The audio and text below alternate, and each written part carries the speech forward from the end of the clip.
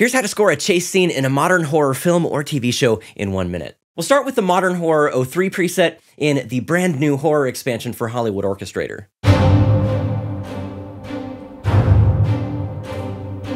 Now let's add some solo cello and double it with bass clarinet. Throw in some light percussion.